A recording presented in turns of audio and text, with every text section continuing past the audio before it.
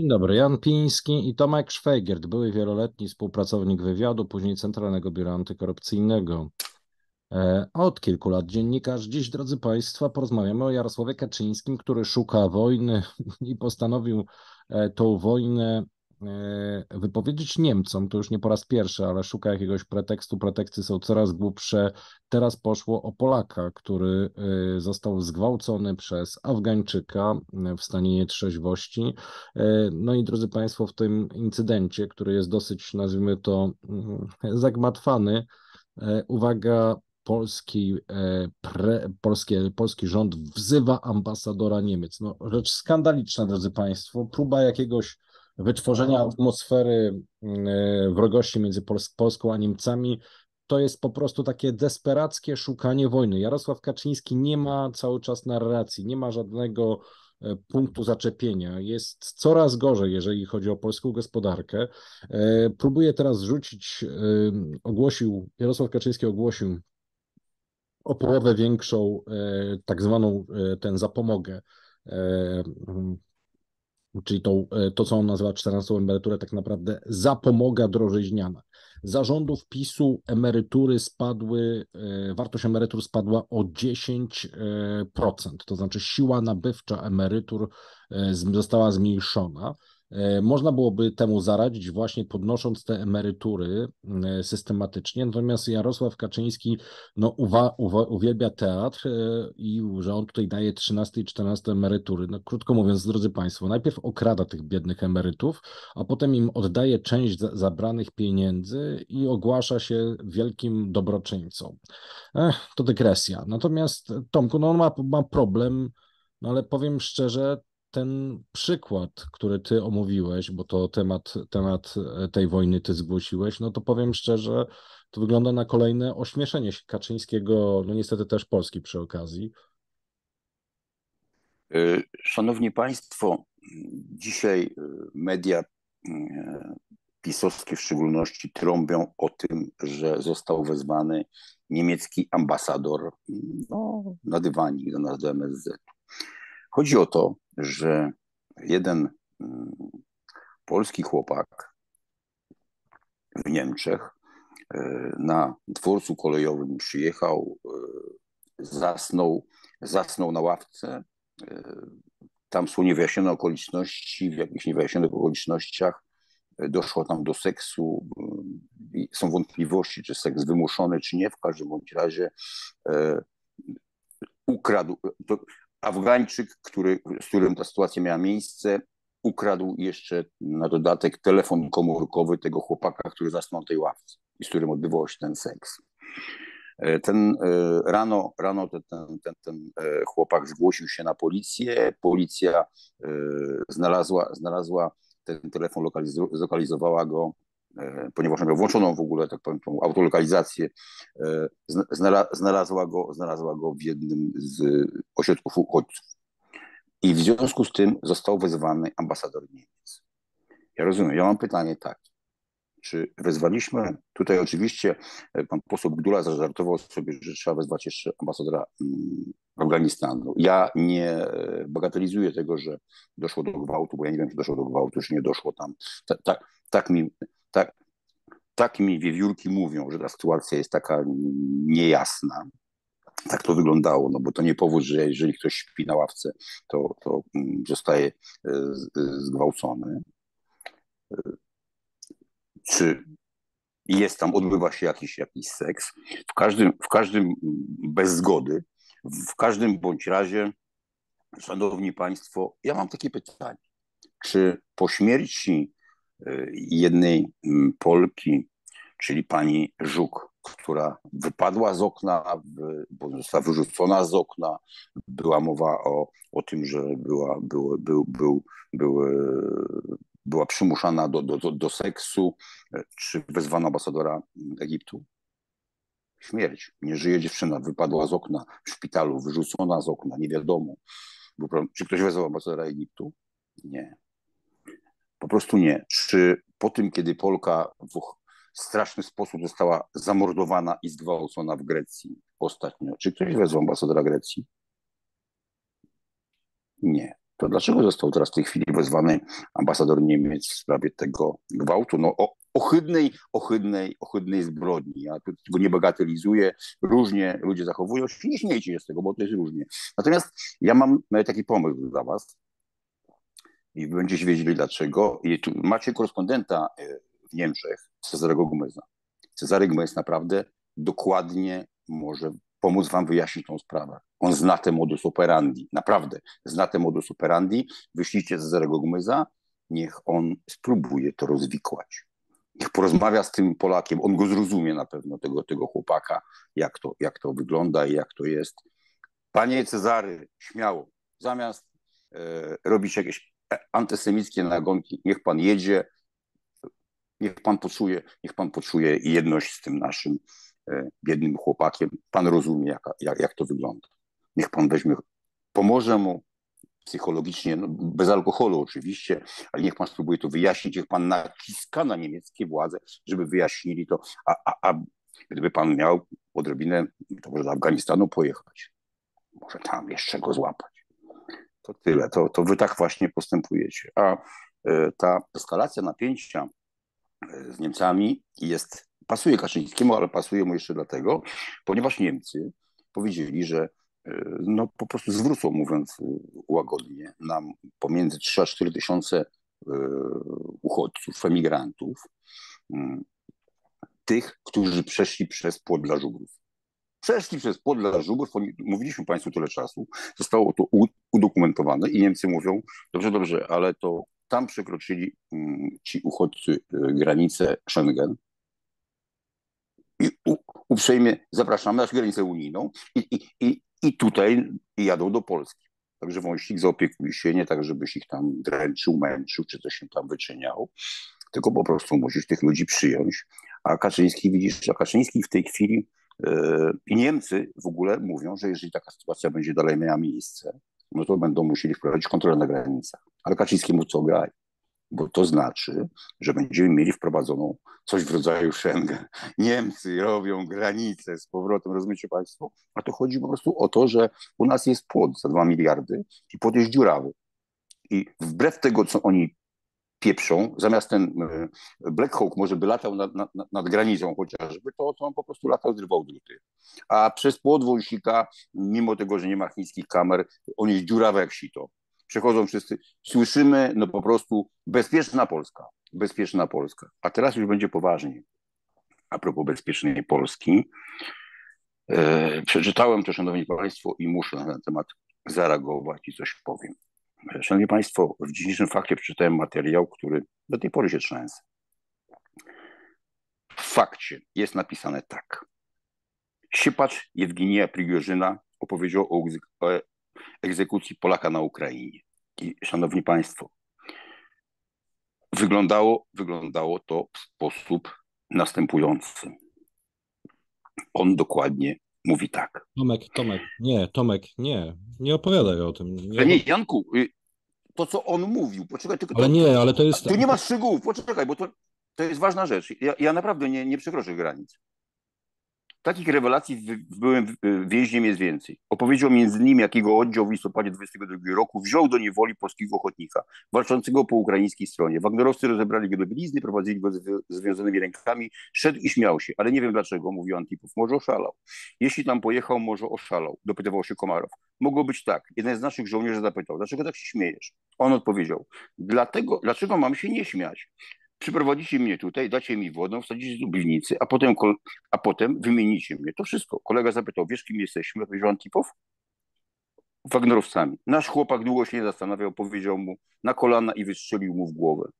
Uważam, że nie ma co brać, to nie woli. Wojna to wojna. Wezwijcie ambasadora Rosji o to i poproście, żeby ten człowiek e, podał tych morderców, bo to jest morderstwo, podał tych morderców, którzy zabili naszego człowieka. Zresztą chwała, cześć mu i chwała, godnie zginął. Wezwijcie. Może pan e, minister Ziobro, który chodzi z kobiecą wersją Glocka przy pasie, może kiedy już, już wysyłał prokuratorów do Buczy, to może sam się zainteresuje i wezwie ambasadora, żeby tych człowieka przesłuchać. Tak, bo, to bo ten człowiek opowiada o morderstwie. Jest porównanie, jest porównanie, że mają... O morderstwie, o morderstwie ten człowiek opowiada. A tak naprawdę to wąsik. Zamiast e, wy, wy nie macie już e, ludzi, nie macie służb specjalnych. Żaden bydlak z grupy Wagnera czy innej nie odważyłby się powiedzieć tego, jak zamordowali. Izraelczyka, Francuza, Brytyjczyka czy Amerykanina, bo wiedziałby, że dni jego są policzone. E, w... Ja oczywiście nie namawiam do działań niezgodnych z prawem, ale wy doprowadziliście nasz kraj do tego, że takie rzeczy się dzieją. Ale skandaliczne jest to... to Bo ja bym chętnie, chętnie go tutaj e, spróbował przywieźć i przesłuchać, bo on wie, kto tam był i kto strzelał. I to są mordercy. My nie mamy żadnego autorytetu. Wy potrzebowaliście nas przy Smoleńsku, dalej już więcej nie będę mówił, a teraz to wy po prostu, wasze działania to są, wpadacie w 20 do mnie, do domu i do innych ludzi, do biznesmenów i, i tam pokazujecie, że jesteście silni. Tak robicie. Polski się nikt, e, z Polską się nikt nie liczy. Można mordować naszych ludzi i opowiadać o tym w internecie, ciesząc zęby ambasador rosyjski jutro po czymś takim powinien być i powinien powiedzieć, że tego, że tego świadka morderstwa będą przesłuchiwali. Niezależnie od tego, w jakiej formule ten, ten człowiek tam był na Ukrainie. To jest morderstwo. To jest po prostu morderstwo. Jeńców się nie zabija. E, I to jest właśnie w kontekście tego, jak wy wzywacie ambasadora Niemiec. To tyle. Przepraszam, bo, bo to, ta sytuacja to, to na, mnie, na mnie zrobiło bardzo duże wrażenie, bo no, wydaje mi się, Janek, że wielu z nas mogłoby być w takiej sytuacji, że by ich takie bydle odstrzeliło, prawda? A, a, a państwo polskie by się za nim nie ujęło. Także panie Ziobro, tak jak mówię, macho z damską wersją Glocka przy pasie, panie, panie, czy, znaczy wąsik, zamiast robić te cyrki, udawać macho, Kamiński, zamiast stawać na tych butach, na wysokich obcasach, działaj, zrób coś. Ja nie mówię, że wyślesz komando śmierci do Rosji, ale chociaż działania prawne, bo wy już nie macie takich ludzi, którzy by zrobili z tym porządek. To już nie ten czas. Działaj. Zamiast wzywać ambasadora i robić te syryki. To tyle, Janku. Mam nadzieję, że nie przekroczyłem jakiejś tutaj no, to jest dobre. czerwonej linii. To trzeba było dla, dla tego chłopaka powiedzieć chociaż. To jest przede wszystkim, przede wszystkim to tylko pokazuje, jak, jak bardzo ośmieszają po prostu powagę państwa polskiego. Wzywanie Niemców, zwróćcie Państwo uwagę, że e, PiS nie wezwał Rosji, e, nie wezwał rosyjskiego ambasadora w sytuacji, kiedy do Polski wleciały trzy rosyjskie rakiety, w tym jedna, która mogła przenosić głowice nuklearne. One nie wleciały do Polski przypadkiem. Panowie postanowili zrobić tak zwane rozpoznanie walką, e, czyli sprawdzić po prostu, jak funkcjonuje polska obrona przeciwlotnicza. E, zarządów PiS w ogóle nie funkcjonuje. To, co się dzieje w Polsce w tej chwili, to jest taki obraz państwa w upadku, które mm, przestają funkcjonować podstawowe e, jednostki. Drodzy Państwo, jeżeli mówimy na przykład o działaniu Agencji Bezpieczeństwa Wewnętrznego, no to ona powoli zaczyna być zmieniana w taką strukturę jak e, taki klon Centralnego Biura Antykorupcyjnego, czyli oni się zaczynają zajmować tylko i wyłącznie dostarczaniem newsów politycznych.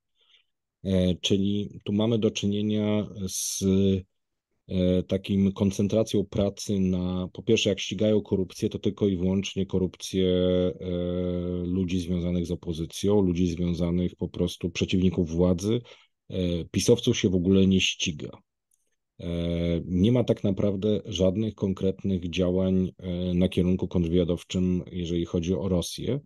E, to, jest, to zostało załatwione w ten sposób, że po prostu e, ludzi kompetentnych zamieniono ludźmi niekompetentnymi. To w zasadzie kończy temat.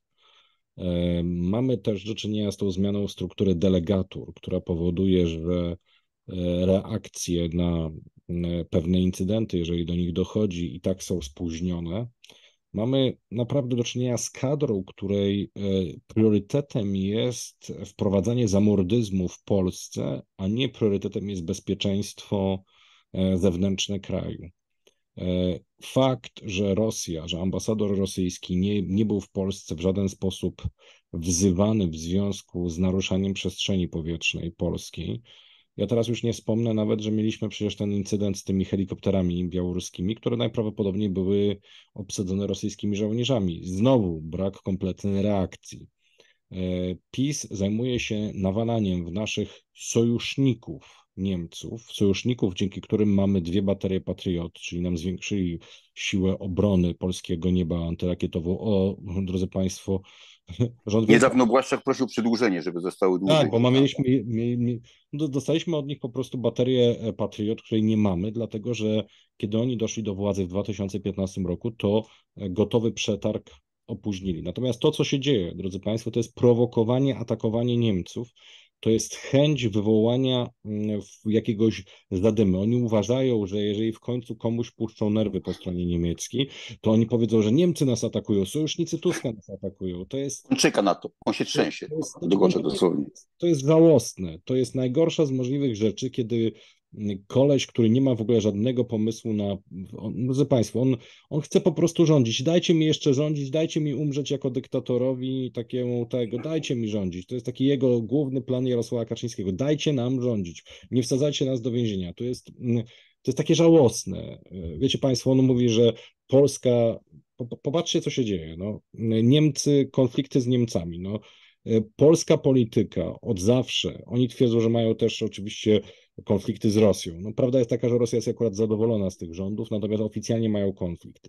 Polska polityka nie może mieć, e, to jest aksjomat polskiej polityki, Polska nie może prowadzić polityki jednocześnie być, mieć złych relacji z Rosją i z Niemcami. To jest po prostu wbite do głowy każdego człowieka, kto w jakikolwiek sposób spojrzy na mapę.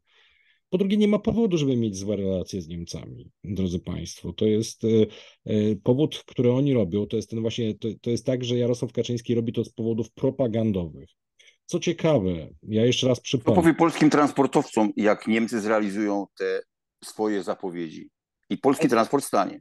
Ale to jest nie tylko to. Oni nie rozwiązują problemów. Mało tego, oni nie, y, to nie jest tak, drodzy Państwo, że my nie mamy możliwości, że my, że my walczymy o nasze interesy. Prawda jest taka, że my z Niemcami nie walczymy o nasze interesy, że oni gadają głupoty, gadają głupoty propagandowe, a tak naprawdę szkodzą polskiej gospodarce i w dłuższym okresie e, po prostu, e, no powiem Państwu tak, to, że ja to powtórzę po raz kolejny, to, że Volkswagen, grupa Volkswagen nie płaci w Polsce wielomiliardowego odszkodowania polskiemu rządowi e, na kwocie 20-30 miliardów złotych za sprzedaż 175 tysięcy około aut, które e, miały sfałszowane e, metryki. To jest sfałszowana homologacja. To jest gigantyczne przestępstwo, którego Zbigniew Ziobro nie ściga. I teraz, drodzy Państwo, pytanie jest takie. My to już powtarzamy w tym programie, drodzy Państwo, od nastu miesięcy. E, I drodzy Państwo, wszyscy siedzą cicho. Ja się nie dziwię Volkswagenowi, który siedzi cicho, no bo Volkswagen jest zainteresowany tym, żeby ten obecny stan rzeczy, status quo się utrzymało, żeby nikt nie poszedł i nie zwindykował Volkswagena za przestępstwa, których się dopuszczono w Polsce. Ktoś te 175 tysięcy aut, mając świadomość, że one, że ich metryka nie odpowiada prawdzie, sprzedał. Do tej pory nie naprawiono tych aut, nie zrobiono nic, e, tak naprawdę nie wiemy ile, ile w ogóle, nie ma żadnych raportów, ile zostało w ogóle z tych 175 tysięcy aut naprawione. Są wyroki w sądach niemieckich, użytkowników niemieckich, że nie ma żadnej naprawy, należy się nowe auto. Drodzy Państwo, rozumiecie, nowe auto. 175 tysięcy nowych aut to jest pokaźny, pokaźny kawałek grosza w Polsce. Pewnie Polacy by się ucieszyli. Prawda? Tylko, że nie mamy. Tak. tutaj, jest, tutaj jest realna kasa, realne do wzięcia i oni milczą. Dlaczego milczą?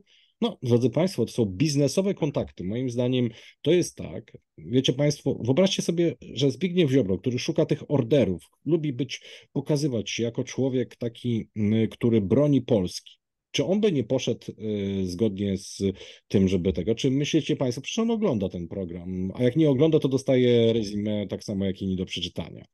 Przecież to nie jest tak, że on nie wie o tym, że on to powinien zrobić, tylko prawdopodobnie jest skądś umowa uzgodnione, że tego nie zrobią, że nie będą e, windykować Volkswagena. I tutaj, drodzy Państwo, no niestety opozycja też tutaj nie zdaje egzaminu, bo powinna po prostu wbić szpilę i się zapytać, nie no, panowie, ale gdzie jest kasa od Volkswagena? Dlaczego Amerykanie dostają kilkaset miliardów złotych, czy tam, bo to oni no, ogromne tam odszkodowania poszły w Stanach, a my dlaczego mamy nie wziąć proporcjonalnie do, do liczby aut, która została sprzedana? Szanowni Państwo, to były naprawdę fabryki toksyn. W niektórych modelach to było 40-krotne zaniżone 40 razy bar więcej tam y, było emitowanych zanieczyszczeń niż to była mowa. Koniec. Wracamy do tego, co chce Jarosław Kaczyński. Jarosław Kaczyński desperacko potrzebuje gdzieś eskalacji.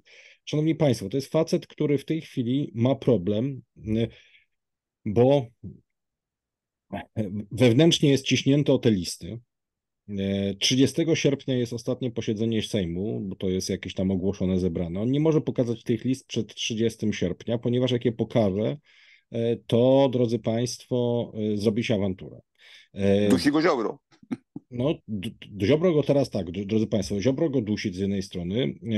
Niektórzy nawet twierdzą, że Ziobro, że ludzie Ziobry przeprowadzają akcję public relation, E, żeby do, do, zmusić Jarosława Kaczyńskiego do pokazania tych list. E, przy okazji u, u, pokazano i udowodniono, że są zbierane podpisy pod listami, e, których nie ma nazwisk. To ja nie wiem, czy to też jest w ogóle legalne.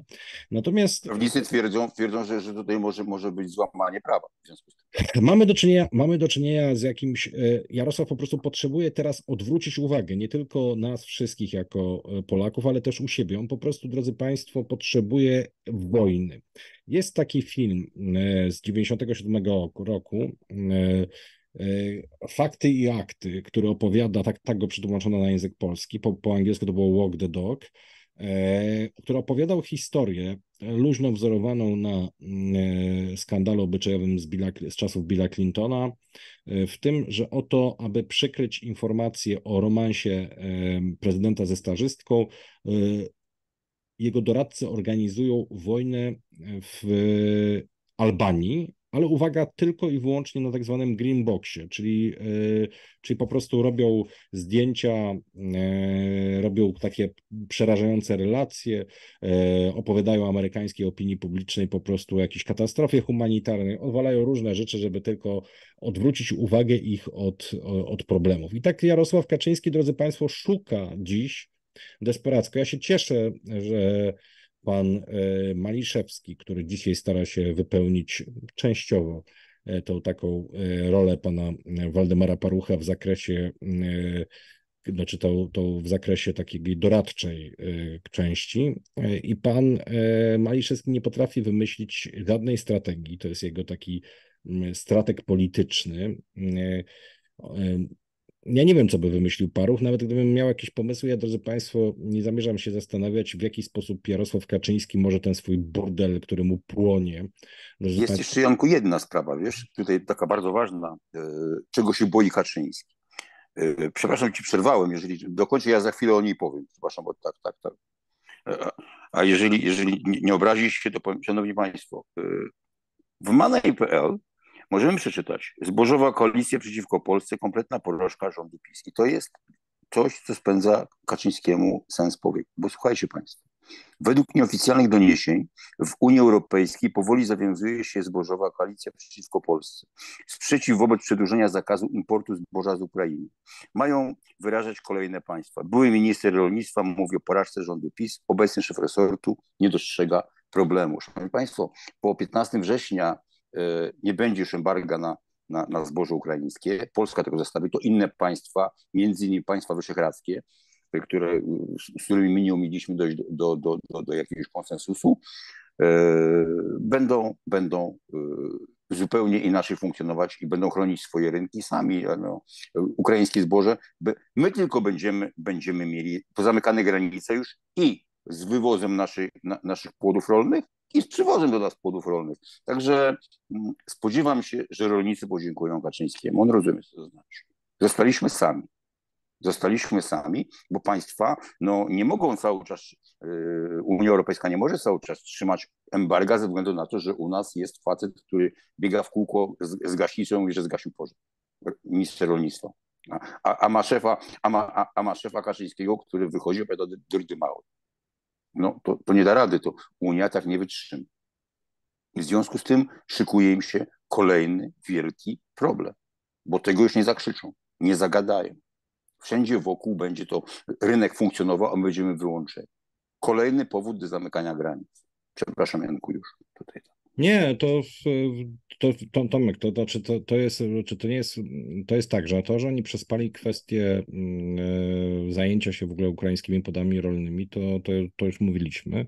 E, to mm, najlepiej pokazał Robert Heda, e, e, były w sensie, że już, już nieczynny zawodowy oficer wywiadu, który opowiedział... Fachowiec, świetny fachowiec, szanowni Państwo. Jak, Słuchajcie, oglądajcie.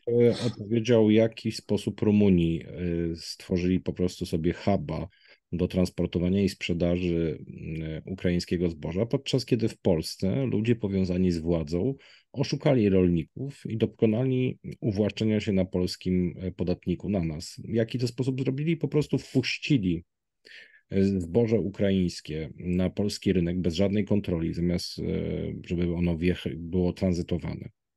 Przecież, drodzy Państwo, co to był za problem, aby na przykład wpuszczając to zboże po prostu brać kaucję, która byłaby, to nawet rozporządzeniem można zrobić, które które wjeżdżając byłaby brana kaucja i przy wyjeździe byłaby ta kaucja oddawana. Oni to zrobili celowo. E, po pierwsze, dlatego, żeby pewnie trochę ograniczyć e, nacisk inflacyjny, a po drugie, dlatego, żeby zarobić gigantyczne pieniądze. Jak oni to zrobili? Po prostu jako pierwsi wprowadzili po prostu to zboże tańsze z Ukrainy do sprzedaży, do swoich firm i obniżyli po prostu w ten sposób, zarobili po prostu gigantyczne pieniądze, bo sprzedawali to zboże z marżą, ale i tak dużo taniej niż polskie. I w pewnym momencie doprowadzili do sytuacji takiej, w której Polacy nie mogli stworzyć, nie mogli sprzedać tego swojego zboża po cenie, do której, którą mieli skalkulowaną. To jest oczywiście, drodzy Państwo, nieuczciwe, kiedy na rynku, który jest w 100% regulowany, chroniony i gdzie ludzie mają określone ceny nawozów, określone ceny, tak naprawdę no, planują przyszłość, drodzy Państwo, ile tego sprzedadzą, po jakiej cenie. I nagle im ktoś po prostu wpuszcza analogiczny produkt e, po prostu dużo niższej cenie. I to, drodzy Państwo, doprowadza do tego. Więc dochodzi do sytuacji, w której oni nie mogą sprzedać tego i zaczynają mieć kłopoty. Zaczynają się protesty. Co robi wtedy Jarosław Kaczyński, cała ta banda, e, cały ten gang? Oni przychodzą i mówią: spokojnie, e, są pieniądze, my wam e, dopłacimy do tego i będziecie mieli gwarantowane ceny. Czyli co oni tak naprawdę zrobili, drodzy Państwo? Dali zarobić swoim baronom, to jest ta lista słynna Telusa, który już dzisiaj prawie od 200 dni nie chce podać ile, jakie firmy konkretnie zarobiły na ukraińskim zbożu. I to jest ten mechanizm, który został stworzony, czyli oni kontrolując wszystkie dojścia, e, kiedy w, kiedy w czerwcu 2022 roku Donald Tusk mówił o tym, że będzie problem z ukraińskim zbożem, to na niego napadły media pisowskie, że to jest e, oto lider Platformy, mówi narracją rosyjską. A tak naprawdę oni planowali po prostu gigantyczny skok na kasę.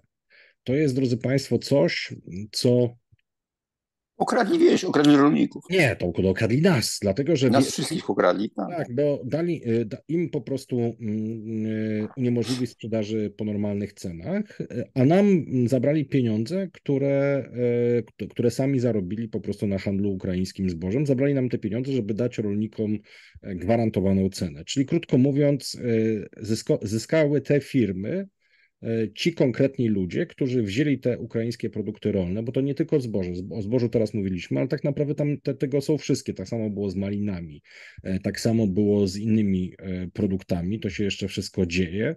Oni po prostu, drodzy Państwo, traktują Polskę jako okazję do robienia geszeftów.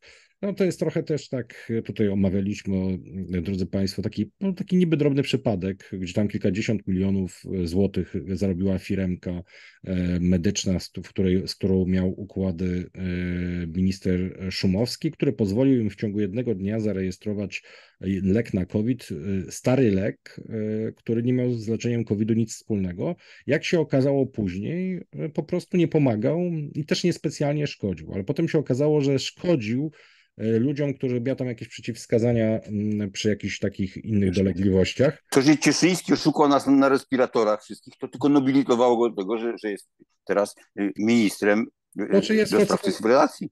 Tak, dlatego że mamy do czynienia z ludźmi, którzy, którzy są y, osobiście zainteresowani w tym, żeby ta władza nie upadła, bo pójdą siedzieć, dostaną zarzuty. No, jeżeli dzisiaj nad uczciwością wyborów czuwa pan Janusz Cieszyński, facet, który ma zarzuty gwarantowane, drodzy Państwo, bo to jest takie twierdzenie, drodzy Państwo, że ja to jestem rozgrzeszony, ponieważ Centralne Biuro Antykorupcyjne przyszło i powiedziało mi, że ten facet jest git. To ja bym chciał, żeby on mi pokazał, e, gdzie jest napisane w ustawie, że jak przychodzi firma niewiarygodna i jak powie o tym, jak powie, że jest o tej firmie, że jest wiarygodna Centralne Biuro Antykorupcyjne, czy tam wywiad nawet, to, to, to ja bym chciał, żeby pokazał mi ten paragraf, gdzie, gdzie, gdzie jest napisane, że w tym momencie można niewiarygodną firmę, która ma zaległości, która nie ma płynności, że można jej dokonać przedpłaty, bo nie ma takiego paragrafu. Ja, drodzy Państwo, uwielbiam, jak oni takie rzeczy mówią. Wiecie Państwo, ostatnio e, zajmowałem się swoim procesem, gdzieś tam, e, gdzie mnie próbują właśnie a propos, to jest sprawy z prywatnych skargowych 212, jak to jest z tymi współpracą z dziennikarską. I drodzy Państwo, co się okazało?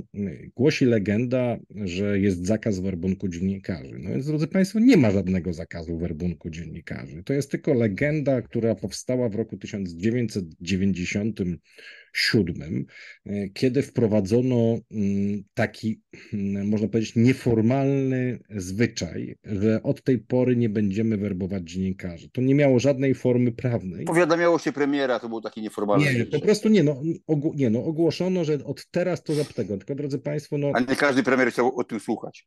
Ale to nawet nie o to chodzi. Chodzi o to, że nie ma takiej regulacji prawnej, która zakazuje werbunku dziennikarzy. Po prostu głoś...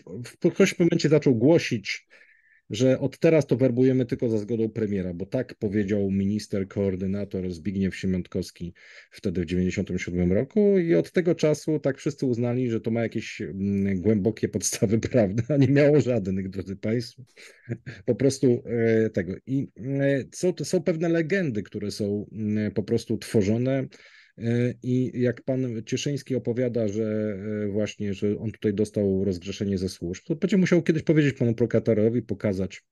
Wiecie, to, nie, ale niech, niech pokaże, który, który paragraf tego mówi o tym, że jak ktoś mu powie, że niewiarygodna firma ma poparcie służb i nawet mu napisze notatkę, to, to że to go zwalnia z odpowiedzialności karnej za, e, za wybór takiego nierzetelnego kontrahenta. Bo ja powiem Państwu kiedyś... Niech powie, że to była operacja specjalna, która miała na celu rzeczywiście jest, zdobycie ja, pieniędzy od Polaków. ale to ja jeszcze, ale to właśnie, właśnie tutaj jest, drodzy Państwo, właśnie taki problem, że niektórym, a dostał, dostał, dostał, dostał, powiedz, dostał rozgrzeszenie od ABW albo czy od agencji wywiadu albo od CBA. Nie ma czegoś takiego. To znaczy to, że jakaś służba pisze, to nie, nie, nie, nie, nie zmienia, że tak powiem, e, nie zdejmuje obowiązku z tego, który to otrzymuje, który widzi na przykład, że ta spółka się nie rozliczyła, widzi, że ta spółka nie ma współczynnika, ta, ta spółka była niewypłacalna w momencie, kiedy on jej przelał po prostu 160 milionów tam złotych, no, cashem. I to jest, drodzy Państwo, coś, e, jak się robi biznesy, jak się rozumie, jak się robi biznesy, to drodzy Państwo, e, możliwość z, e, zrobienia biznesu bez gotówki jest kluczowym kapitałem e, biznesmena. To znaczy, są ludzie, którym określeni ludzie dadzą towar na kredyt, ale w innych wypadkach musisz ten towar po prostu zapłacić. Jak go nie masz tego, to, to powiem Państwu tak. W Polsce wtedy, kiedy Cieszyński przelewał te pieniądze, były fizycznie respiratory do kupienia, których Ministerstwo Zdrowia nie chciało e, kupić. I my Cieszyńskiemu po zmianie władzy udowodnimy to. Dlatego, że my mamy człowieka, który w tamtym czasie po prostu składał ofertę do Ministerstwa Zdrowia i powiedziano mu po prostu, dobra, tam napisz facet maila, napisz, to zadzwoń, złóż jakąś tam ofertę. Nikt od niego kupować tych respiratorów nie chciał. Ale dobra, Tomku, bo... Od... Tylko mam jeszcze jedną prośbę, wiesz co, tak, odkłammy, jedną, odkłammy jedną rzecz, zanim ludzie Musika przyjdą i będą udawali, że tak świetnie znają rosyjskie sprawy, przyjdą do, do Kaczyńskiego, do reszty i będą opowiadać, czy, czy tam ludzie przyjdą panu Siewierze będą, który jest fachowcem, niewątpliwie u pana prezydenta Dudy będą tłumaczyć. Szanowni Państwo, no, na gorąco dowiadujemy się o tym, że e, samolot Prigorzyna się rozbił. E, wczoraj. Wczoraj, tak, wczoraj i e, znaleziono, znaleziono tam osiem ciał, Prigorzyn był na liście, dwóch ciał brakuje. Szanowni Państwo, sądzę, że ciało Prigorzyna się znajdzie, być może już się znalazło teraz, kiedy będziecie to Państwo oglądali, bo zrozumcie Państwo jedno, możemy z Jankiem od razu to, to samo powiedzieli i, i sądzę, że, że, że to jest bardzo racjonalne, a Wy to rozważycie. A my to potwierdzimy. Spróbujemy to, to w jakiś sposób u innych źródeł jeszcze. Szanowni Państwo, czy nie spodziewam się, żeby Putin zgodził się na zabicie faceta, czyli na zabicie Prigorzyna i jego zastępcy pseudonim Wagner, bez tego, kiedy przejmie ich pieniądze. Wagner pieniądze ma w głowie. Znaczy, Prigorzyn pieniądze i ten wszystki dostęp do tych wszystkich swoich miliardów, a tak naprawdę uważa, że, że to są rosyjskie pieniądze, uważa Putin, ma w głowie. I, i teraz to po prostu on, co on słyszy, Janku, od, od ludzi, którzy mu tłumaczą, mówią mu, może być szybko, a może być długo. Powiedz, tak. To będzie szybko i nie ma problemów żadnego i będzie ok. I Putin wyszedł, szanowni państwo, przy rocznicy Bitwy Kurskiej i, i, i uśmiechnięty, zadowolony. Dlaczego uśmiechnięty? Mimo tego, że ciała nie znaleziono, żeby się denerwował bo on wie, że Prigorzyn jest. A może sam go zapyta, bo może go z dawnych czasów... A może chcieć, bo może chcieć. Mu się to podoba. I sam może go zobaczyć, porozmawiać, powie, widzisz, no to powiedz, gdzie te pieniądze są.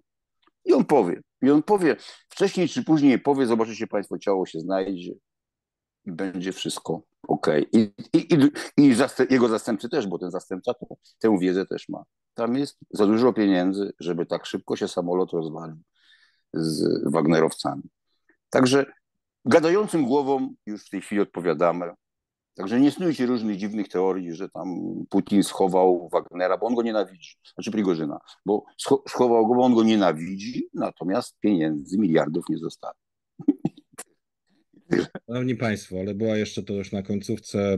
E, Jarosław Kaczyński szuka wojny. Czym ta się wojna, e, czy tej wojny uda mu się uda mu się znaleźć. Nie sądzę, dlatego że Niemcy, e, już pomijam kwestię, że być może jakieś tam użyteczności tego gabinetu dla Niemców, Jarosław Kaczyński, ten jego cały burdel, który robi w Polsce, on jest, on jest po prostu, oni są po prostu męczący.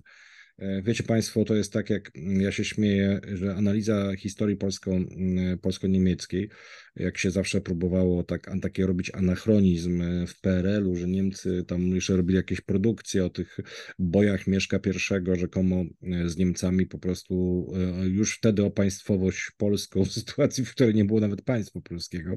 Były to po prostu jakieś takie kniaziowskie bijatyki ludzi, którzy po prostu mówili po słowiańsku, bo przecież to był zupełnie inny język z tymi, którzy byli Niemcami, czyli po prostu nie mówili w żadnym zrozumiałym narzeczu. Natomiast mnie tam się przypomniało e, taka historia za Kazimierza Odnowiciela, e, który był zresztą mm, e, prawnukiem jednego z cesarzy tam niemieckich i on dostał po prostu tam 500 zbrojnych, żeby zaprowadzić tutaj porządek. I ja mam takie głęboką nadzieję, że po prostu niezależnie od korzyści, które generuje tworzenie w Polsce burdelu, to jednak mimo wszystko E, bo drodzy Państwo, chodzi o to, żeby nie dawać im paliwa, że właśnie, żeby traktować tego, traktować Polskę, no tak jak trochę traktowano Amerykę z Trumpem, e, na zasadzie, dobra, to przeczekamy tego, to, tą chorobę, za, chwilę, za chwilę będzie normalnie, to już tam, już jeszcze, jeszcze, jeszcze, jeszcze tylko 50 parę dni i, i Jarosława Kaczyńskiego już nie będzie.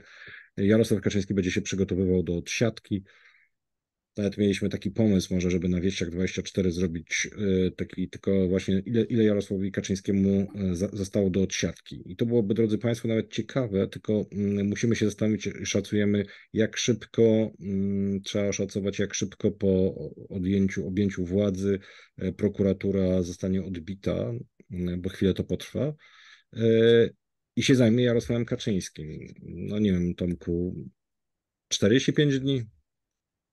Janek. Bardzo przeszacowałeś ten termin. Panie Jarosławie, y, pan się pakuje powoli, ja bym taką powiedział. No. Niech pan już się powoli pakuje. Pan sobie odtworzy, są te odcinki. Zbiór karny, niezwykle ważny jest w areszcie, zbiór karny.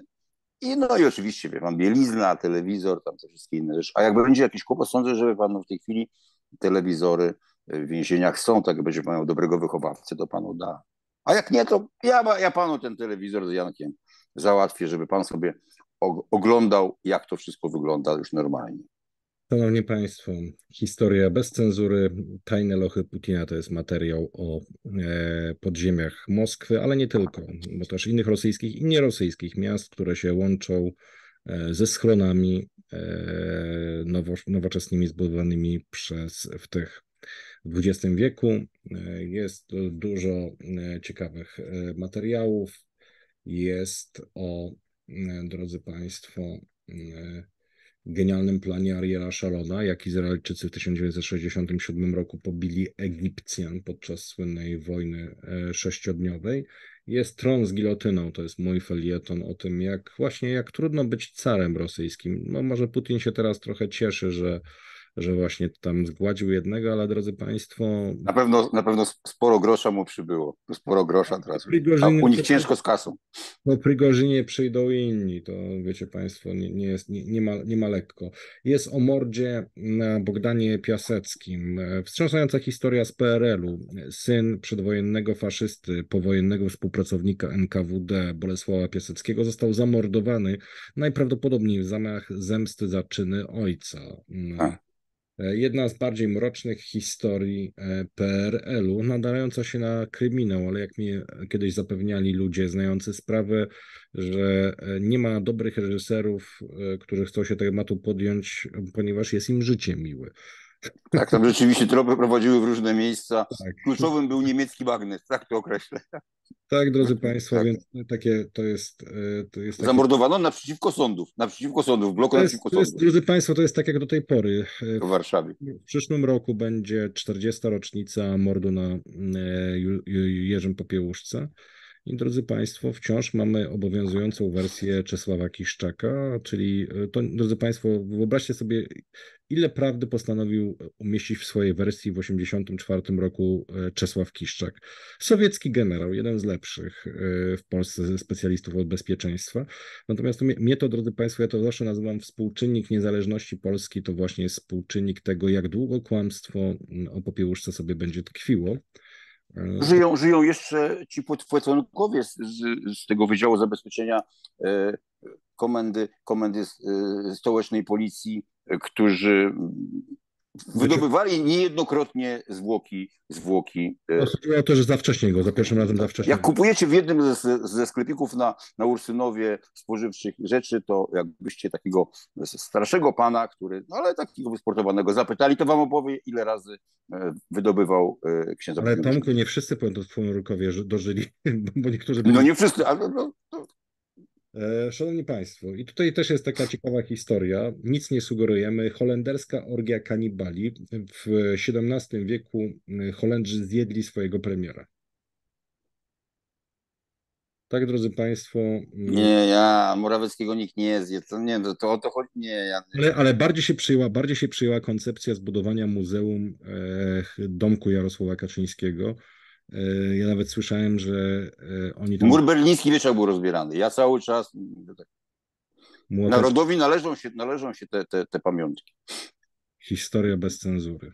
Szanowni Państwo, w dobrych kioskach, w dobrych empikach, Obiecaliśmy o wąsiku Janku i tutaj tobie oddaję głos i ja też uzupełnię. Ale nie, ale, ale to ty, ale co, ale co? Obiecaliśmy Państwu, Państwo proszą o wyjaśnienie tematu Foxar, jak Ach, to, tak. nie wypada. No. Znaczy, nie jest, uchodzi, trzeba powiedzieć. To jest nie, no to jest e, Foxal to jest kawiarenka, w której, e, drodzy Państwo, Maciej Wąsik i jego najbliżsi i bardzo bliscy koledzy przez lata spożywali trunki e, wszelakie i spotykali się i socjalizowali się, ale po wyjściu z kawiarenki na Foxal były również takie balety, E, były tam również podziemia, były również, e, no, no, no, właśnie to właśnie co było na Foxal nie zostaje na Foxal, drodzy Państwo. To jest takie nawiązanie e, do, do tego, ponieważ myśmy zaczęli opowiadać o... Był punkt kontaktowy, bardzo ciekawy, Jan. Tak, to był punkt kontaktowy na przykład, w którym przyjeżdżano po karteczki, na przykład jest taki jeden łebski pan, który uważał się kiedyś, uważa się chyba nadal może za dziennikarza, E, który się tam przyjeżdżał Uberem w kapturze, wchodził, odbierał karteczki od tego, które były dla niego zostawione, w razie czego on może powiedzieć, że, że, on, że on e, nie widział człowieka, że nikt mu, nawet może więcej, może drodzy Państwo powiedzieć, że nikt mu tego nie mówił. My się śmiejemy zawsze w tego, albo że ten konkretny człowiek mu tego nie przekazał. Zabawne rzeczy, drodzy Państwo, no prawda jest taka, że powiem szczerze, jaka drużyna, taka konspiracja. Już sam fakt, drodzy Państwo, że my o tym wiemy. Jak myśmy zaczęli o tym opowiadać, to oni posadzili ludzi, e, którzy zaczęli fotografować i nagrywać po prostu całe otoczenie, czy my tam się nie pojawiamy fizycznie, albo ktoś od nas. E, więc... Zwalili, zwalili na, na mecenasa Giertycha, bo tam bardzo blisko jest kancelaria mecenasa Giertycha. I tak, doszli do wniosku, że oni szpiegowali mecenasa Giertycha, a jak zwykle, drodzy Państwo, mogło się okazać, e, że złapał kozak Tatarzyna, a Tatarzyn za łeb trzyma. Tu właśnie problem Ale nowa w Śródmieściu też jest robiona, chociaż wy już bardziej chodzicie po tych lokalach takich swoich, tam gdzie wąsik pokazuje napadówkę, jak, jak, jak, jak działa jego napadówka to już raczej, raczej te lokale mniej funkcjonują, ale jeszcze funkcjonują. Zresztą teraz to wy na smutno, wy dużo pijecie alkoholu, zostawcie tą gorzałkę. Tak, tam jest głównym tematem, jest głównym tematem, głównym tematem rozmów jest, drodzy Państwo, właśnie to już jest demontaż, demontaż, to znaczy ja nie wiem, czy Wąsik o tym wie, ale jego najbliżsi ludzie nie wierzą w to, że oni zostaną przy władzy. I to jest, drodzy Państwo, dla nas jest najlepszy sygnał. Skoro oni nie wierzą, to drodzy Państwo, to kto ma wierzyć? Wiesz, przy okazji bardzo dużo mówią o tym, że jest kupa pieniędzy, żeby gdzieś schować. I gdzie to schować? To jest no właśnie. No, drodzy Państwo, ja kiedyś pamiętam e, takiego mm, sympatycznego oligarchę, e, nazywał się Aleksander Gudzowaty. E, to jak się, jak się trochę wstawił, bo akurat lubił moje towarzystwo, to opowiadał właśnie, śmiał się, mówi, i tu wymieniał nazwiska polityków lewicy, co prawda, nie mówi, co oni zrobią z tymi milionami X? Których piewni, w których piwnicach będą to konsumować? Przecież jak oni to pokażą i się śmiał, że to jest właśnie różnica pomiędzy uczciwie zarobionymi a tymi, którzy się musi ukry- którzy muszą się ukrywać. Szanowni Państwo, pamiętajcie nasze zobowiązanie, e, że my dopilnujemy tego, żeby po zmianie władzy, e, żeby oni nie mieli, nie cieszyli się z tej kasy, którą e, nielegalnie, w zasadzie, w zasadzie to praktycznie każdą nielegalnie zdobyli, no ale to jedną mniej lub no, powiedzmy sobie tą, ta, która jest taka super nielegalnie zdobyta, im się wydaje, że ona jest bezpieczna, to... Jest dyspensa, wydajcie teraz 3 miliony, naprawcie śmigłowiec. Po prostu naprawcie śmigłowiec, dajcie, dajcie z tego złodziejstwa, bo to i tak w cholerę trzeba zrobić. Trzeba wyremontować. Niech jakiś anonimowy darczyńca wpłaci. Anonimowy darczyńca dostawi 3 miliony w, pude w pudełku y, w starych babicach, tam, tam, tam gdzie stacjonuje, stacjonują te śmigłowce. Naprawdę. No dobrze, dobrze. Państwo, aha, grupa Wagnera potwierdziła śmierć swojego szefa Jewgenija Prigozina. Szanowni Państwo, do zobaczenia. Cało się znajdzie niebawem.